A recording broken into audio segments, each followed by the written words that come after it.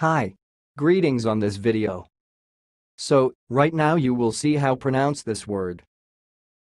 The word you see is sounds like bedless, bedless. Okay, let's say it again. Bedless. Bedless. That's all, thanks for listening. If you liked this video, please subscribe to my channel. If you want to share your opinion, please leave comment for this video. Thanks and goodbye.